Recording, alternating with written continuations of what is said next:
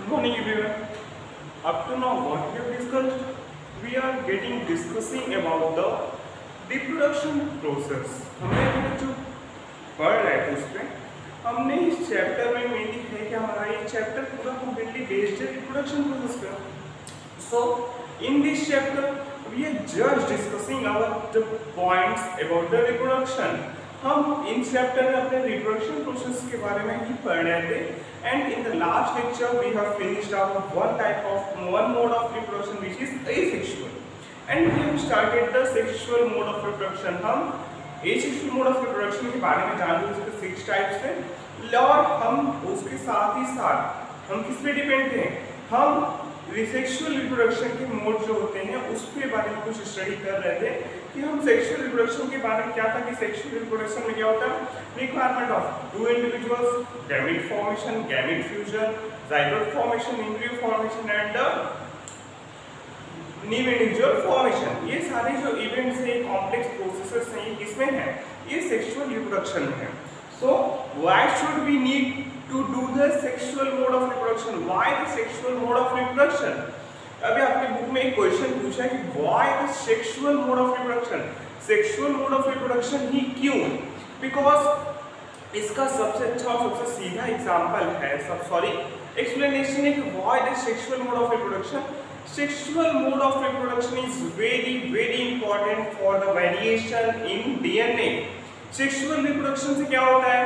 Sexual reproduction बहुत ही ज़रूरी है किसके लिए, क्योंकि with help of sexual reproduction our DNA replicate sexual reproduction के मोड में ही हमारा डीएनए क्या करता है? रेप्लिकेशन के फॉर्म करता है रेप्लिकेट करता है वेरिएशंस प्रोड्यूस करता है, जिससे न्यू इंडिविजुअल्स में कुछ और फाउंडेशंस होते हैं, कुछ और और बेटर डेवलप होके वो होते हैं अलॉन्ग विद डेट और ये बहुत ही ज़रूरी है फॉर एक डेवलपिंग कंट्री और ये क्या है? जो ये सेक्सुअल मोड ऑफ़ रिप्रोडक्शन है, बहुत ही ज़रूरी है। क्यों?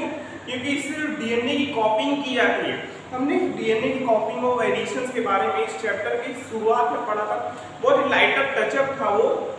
लेकिन वही यहाँ पे हमें पूरा जानना है कि क्यों आखिर वो किस बेसिस पे, क्यों हमारे लिए वो इतना ज़रूरी हो जाता है कि सेक्सुअल रिप्रोडक्शन हम प्रोसेस इतना इंपॉर्टेंट और इतना इंपॉर्टेंस उसके लिए है क्यों? क्यों है?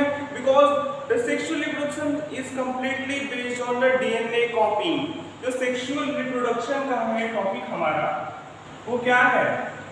उसमें क्या होता है? वो कंप्लीटली किस पे डेवलप है? डिपेंड है. It is completely depend on the DNA copying sexual reproduction में होता ही क्या? सेक्सुअल रिप्रोडक्शन क्या होता है? डीएनए कॉपिंग की जाती है। डीएनए की कॉपिंग जब मेनी टाइप्स होंगे तो उसमें वेरिएशंस आएँगे, जिससे वेरिएंट्स फॉर्म होंगे। और वेरिएंट्स का फॉर्मेशन बहुत ही ज़रूरी है इवोल्यूशन और उसमें कुछ मॉडिफिकेशंस के लिए। तो ये जो प्रोसेस है सेक्सुअल रिप्रोडक्शन का, ये कॉम्प्लेक्स भी है और उसमें डीएनए कॉपिंग भी होती है है ना? डीएनए कॉपिंग की वजह से क्या होता है? जो डीएनए कॉपिंग की मैकेनिज्म है, वो उससे लेक लेस एक्यूरेट होती है, वो पूरी एक्यूरेट तो प्रोसेस है नहीं। इसीलिए जो हर एक कॉपी होती है If DNA copying mechanisms were to be less accurate, many of the resultant DNA copies would not be able to work with the cellular apparatus. क्योंकि डीएनए की कॉपिंग अगर लेस एक्यूरेट रहेगी तो क्या बता रहा है कि जो सेल अपरेटस होते हैं मीन जो सेल से बने हुए अपरेटस होते हैं जो सेलुलर अपरेटस होते हैं मीन जो सेल्स से काम करते हैं इनके मोड मोड ऑफ़ वर्क जिसका सेल होता है वो क्या करेंगे वो सही से वर्क नहीं करेंगे वो अपने मैकेनिज्म को सही से परफॉर्म नहीं करेंगे है ना फिर क्या होगा? तो होगा क्या? एंड वुड डाई और वो ऑर्गेनिज्म डाई कर जाएँगे। It is sure that they do not have any really bad effect हमें ध्यान रखना चाहिए कि उनके ऊपर कोई बैड इफ़ेक्ट ना आए। कॉम्बाइनिंग वेरिएशन फ्रॉम टू और मोर individuals would thus create a new combination of variants और इसी तरह जब हम एक से दो इंडिविजुअल्स को कंबाइन करके मीन्स उनके गैमेटिक को गैमेट्स को कंबाइन करके जब एक न्यू इंडिविजुअल का फॉर्मेशन करते हैं तो उसमें कुछ ना डीएनए कॉपिंग की प्रोसेस होती है, कुछ वेरिएशंस होते हैं and each combination would be novel since it would involve two different individual और हर एक जो कॉम्बिनेशन क्या होता है, वो एक नॉवल होता है, ठीक है? वो एक तरह होता है, क्योंकि उसमें दो इंडिविजुअल्स का इन्वॉल्वमेंट होता है. The sexual mode of reproduction incorporate such a process of combining DNA from two different individual during reproduction और इसीलिए सेक्सुअल रिप्रोडक्शन के दिन क्या होता है? दो इंडिविजुअल्स का कंबाइनिंग प्रोसेस है। दो इंडिविजुअल्स के डीएनए एक साथ कंबाइन करके एक सिंगल डीएनए को फॉर्म करते हैं। और जब ऐसा प्रोसेस होता है कि दो डीएनए एक सिंगल डीएनए को फॉर्म करते हैं तो उस डीएनए का जो कैरेक्टर्स रहते हैं along with the other DNA character और दोनों कैरेक्टर एक इंडिविजुअल एक डीएनए में होंगे तो वो एक इंडिविजुअल में आएगा और it will make that individual much more efficient वो क्या करेंगे? जब दो कैरेक्टर्स हैं, मान लीजिए एक का, एक कैरेक्टर है ये बहुत अच्छा जानता है, बहुत अच्छा पढ़ता है, दूसरे की राइटिंग बहुत अच्छी है, ठीक है? अगर ये दोनों कैरेक्टर हम एक में डाल दें, एक इंडिविजुअल में कर दें तो वो क्या होगा? वो स्टूडेंट जो होगा, वो बेटर स्टूडेंट बेस्ट हो जाएगा, क्योंकि वो पढ़ाई में भी अच्छा होगा, उसकी राइटिंग भी अच्छी होगी, ठीक है? फॉर एग्ज़ाम्पल है ये, ठीक है? उसी तरह जब ऐसे ही दो कैरेक्टर्स के डीएनए फॉर्म करेंगे सिंगल डीएनए को जब ऐसे दो कैरेक्टर्स के डीएनए सिंगल डीएनए को फॉर्म करेंगे तो वो डीएनए जो न्यू इंडिविजुअल को फॉर्म करेगा, वो more variant than these two वो दोनों इंडिविजुअल से ज़्यादा वेरिएंट होगा हायर एफिशिएंट होगा, उनसे ज़्यादा नॉलेजेबल होगा, है कि नहीं? उनसे ज़्यादा कैरेक्टरिस्टिक्स उसमें होंगे। क्यों? क्योंकि दोनों के मैचअप दोनों के कैरेक्टरिस्टिक्स के मैचअप से उसके कैरेक्टरिस्टिक्स का फॉर्मेशन होता है, ठीक है?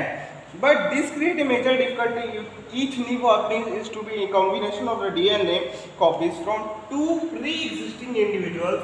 Then each new generation will end up having twice the amount of DNA that that the previous generation had. लेकिन ये बहुत बड़ी डिफिकल्टी भी है क्यों क्योंकि अगर हर एक नए जनरेशन के पास हर एक नए जनरेशन अगर कॉम्बिनेशन डीएनए की कॉपिंग से जनरेट होगा। तो जो दो उसके पहले के दो प्री एग्जिस्टिंग इंडिविजुअल्स हैं उनका जो जनरेशन है वो खत्म हो जाएगा है कि नहीं? तो आ, उनके पास क्या होगा twice amount of DNA that the previous generation had उनके जो न्यू इंडिविजुअल्स होंगे उनके पास जो डीएनए होगा वो ट्वाइस होगा। मींस वो एक एक इंडिविजुअल और दो इंडिविजुअल से बन के डीएनए फॉर्म होगा। तो उनके उनके पास एक डीएनए होगा। बट उसका ट्वाइस डीएनए कैरेक्टरिस्टिक्स या न्यू इंडिविजुअल्स में पाया जाता है, ठीक है? One solution that many multicellular organisms have found for the problem mentioned above is have two special lineages of spiced in specialised organs which have only half the number of chromosomes and half the amount of DNA as compare to the non reproductive body cells Thus, when these germ cells from two individuals combine during sexual reproduction to form a new individual, it results in re-establishment of the number of chromosomes and the DNA contained in the new generation. तो ये जो sexual reproduction का process है फिर इसमें क्या इसका solution क्या निकाला गया कि इसका जो प्रोसेस है सेक्सुअल रिप्रोडक्शन का उसमें जो जर्म सेल्स फ्यूज करते हैं जो अलग अलग इंडिविजुअल से होते हैं वो क्या करते हैं? ड्यूरिंग सेक्सुअल रिप्रोडक्शन वो क्या करते हैं? एक न्यू इंडिविजुअल को फॉर्म करते हैं। It result in reestablishment of the number of chromosomes उसमें क्या होता है? उसमें भी reestablishment of number of chromosomes होता है। मीन्स क्रोमोजोम का रीस्टेब्लिशमेंट होता है और फिर क्या होता है? जैसे जितने क्रोमोजोम पेरेंट्स में होंगे मीन्स प्री एग्जिस्टिंग इंडिविजुअल्स में होंगे, वह इतने ही नंबर ऑफ़ क्रोमोजोम्स किसमें पाए जाएँगे? न्यू इंडिविजुअल में भी उतने ही नंबर ऑफ़ क्रोमोसोम्स पाए जाते हैं। सो so, ये जो सॉल्यूशन है ये कितना एफिशिएंट रहा और उससे क्या हुआ? इससे क्या हुआ? जो जाइगोट का फॉर्मेशन हुआ इसमें if the zygote is to grow and develop into an organ which have highly specialised tissue and organ then it has to have sufficient stores of energy for doing this फिर फिर क्या problem है ये जो zygote है zygote से ही तो new individual form होता है। अगर जाइगोट के डिफ्रेंसिएशन से और डिवीज़न से जो न्यू इंडिविजुअल फॉर्म होगा तो उसके लिए क्या चाहिए होगा? उसके लिए जाइगोट के पास बहुत ही ज़्यादा मात्रा में एनर्जी चाहिए होगी। क्यों? Because because without the presence of energy अगर एनर्जी नहीं होगी the cell differentiation and cell division process can't be occur तो क्या होगा? सेल डिफरेंशिएशन और सेल डिवीज़न प्रोसेस ये दोनों ऑकर नहीं होगा, ये नहीं हो पाएगा। तो इसीलिए जाइगोट को फर्दर डिवीज़न करने के लिए न्यू इंडिविजुअल का फॉर्मेशन करने के लिए बहुत ही ज़्यादा अमाउंट ऑफ़ एनर्जी की रिक्वायरमेंट पड़ती है। In very simple organism it is seen that the two germ cells are not very different from one another or may be similar but as the body is dies become more complex the germ cells also specialize और क्या लिखा है कि अगर हम simple organism की बात करें तो उसमें जो जर्म सेल्स होते हैं उनमें बहुत ज़्यादा डिफरेंस नहीं होता है बट जैसे ही ऑर्गेनिज का बॉडी डिज़ाइन कॉम्प्लेक्स होता है, उसी तरह फिर जर्म सेल्स का भी बॉडी डिज़ाइन जो होता है मीन्स जर्म सेल्स के भी स्ट्रक्चर्स जो होते हैं, वो भी कॉम्प्लेक्सिटी को शो करने लगते हैं। One germ cell is large and contains the food store while the other is small and likely to be motile फिर क्या देखने को मिलता है, जो कॉम्प्लेक्स ऑर्गेनिज होते हैं, उनमें जो एक जर्म सेल होता है, वो लार्ज होता है, बड़ा होता है, और उसके पास ढेर सारा फ़ूड स्टोर होता है, बहुत ज़्यादा फ़ूड का स्टोरेज किया रहता है। और वही जो दूसरा होता है वो स्मॉल होता है, वो मोबाइल नेचर को शो करता है। जबकि बड़ा वाला स्टेबिलिटी को शो करता है, वो फिक्स पोजिशन पे रहता है। Commonly the motile germ is called the male gamete and the germ cell containing the stored food is called the female gamete तो जो वही जो मोटाइल जर्म सेल होता है जो मूवमेंट को शो करता है जो छोटा रहता है उससे ही हम मेल गैमेट के नाम से जानते हैं। और जो लार्ज बल्कि स्ट्रक्चर होता है जिसके पास फ़ूड स्टोरेज होता है जो फिक्स होता है उसे हम क्या कहते हैं? उसे ही हम फीमेल गैमेट के नाम से जानते हैं। और फिर हम इसके बारे में और आगे डिस्कशन करेंगे ठीक है? सो so, इसके बाद आपके बुक में दिया है the sexual reproduction in the flowering plant फिर इसके बाद हमें क्या पढ़ना है? हमें सेक्सुअल रिप्रोडक्शन के बारे में ही पढ़ना अभी तक तो हमको जाना कि कॉपिंग डीएनए कॉपिंग होती है वेरिएशन होते हैं। वेरिएशन से जो कुछ प्रॉब्लम्स होती हैं कि, कि न्यू इंडिविजुअल के पास ज़्यादा कैरेक्टरिस्टिक्स होंगे डीएनए ज़्यादा होगा और वो जो प्री एग्जिस्टिंग इंडिविजुअल्स होंगे उनके पास डीएनए का अमाउंट कम होगा। तो उसके लिए मियोसिस प्रोसेस द्वारा बैलेंस किया जाता है ताकि जाइगोट में equal number of chromosomes present हो। मींस जितना पेरेंट्स के पास क्रोमोसोम के नंबर होंगे, उतना ही इंडिविजुअल्स के पास भी क्रोमोसोम्स के नंबर हों। और उसके लिए क्या करना पड़ा? उसके लिए मियोसिस की प्रोसेस करनी पड़ी। उसके बाद जो प्रॉब्लम आई कि जाइगोट को डिवाइड के लिए सेल डिवीज़न के लिए cell differentiation means new individual के फॉर्मेशन में बहुत ज़्यादा एनर्जी चाहिए होती है, ठीक है? फिर और तो और हमने डीएनए कॉपिंग के बारे में भी जाना।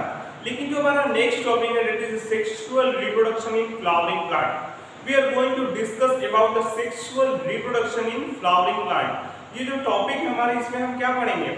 जो फ्लावरिंग प्लांट्स होते हैं मींस जो एंजियोस्पर्मिक प्लांट होते हैं, जिन प्लांट्स में एंजियोस्पर्म एंजियोस्पर्म्स को हम फ्लावरिंग प्लांट कहते हैं। तो जो फ्लावरिंग प्लांट में एंजियोस्पर्मिक प्लांट में सेक्सुअल रिप्रोडक्शन की प्रोसेस कैसे होती है क्या क्या इवेंट्स होते हैं, हम उसके बारे में इस चैप्टर इस सॉरी इस लेक्चर में सॉरी इस टॉपिक में जानेंगे that is the sexual reproduction in flowering plant इसमें क्या होगा? इसमें जो मेन सेक्स ऑर्गन होता है, ठीक है? दैट इज़ द प्लांट का जो मेन सेक्स ऑर्गन होता है, वो क्या होता है? Each and every flowering plant has a main sex organ that is known as flower अगर हम किसी बायोलॉजिस्ट के लेवल से देखें तो एक बायोलॉजिस्ट के फ्लावर क्या है? अगर नॉर्मली किसी आम कोई से पूछे कि आपके लिए फ्लावर क्या महत्व तो उनके लिए may be ornamental may be पूजा के लिए या फिर सजावट के लिए या फिर गहने के रूप में या ऐसे ही कुछ नॉर्मल व्यू होगा। लेकिन for a biologist the flower is morphological and anatomical site for the sexual reproduction अगर किसी बायोलॉजिस्ट के लिए बात करें कि फ्लावर क्या है तो एक बायोलॉजिस्ट के लिए फ्लावर क्या है? वो साइट है। वो सेक्सुअल रिप्रोडक्शन का एक साइट है। मीन्स वो ऐसा पोजीशन है जहाँ सेक्सुअल रिप्रोडक्शन प्लांट्स में होता है। ठीक है? So, ये तो confirm आप confirm yourself that the sexual reproduction only occurs in the flower part of the plant.